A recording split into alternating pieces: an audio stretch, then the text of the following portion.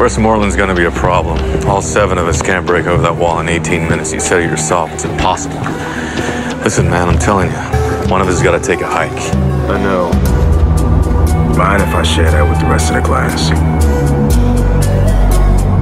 Apparently, college boy here did the math. Figured out that we got too many clowns in the car. So of us is in here digging, but his seat ain't guaranteed. How's this your problem? He doesn't know what he's talking about. I'm not gonna dig it, but I'm not gonna go. We need to make a decision on who gets cut. Well, I think we all can agree that should be right. Pardon me for interrupting. but, uh. What's that smell? It smells a little like conspiracy. We need to get back to work. Yeah.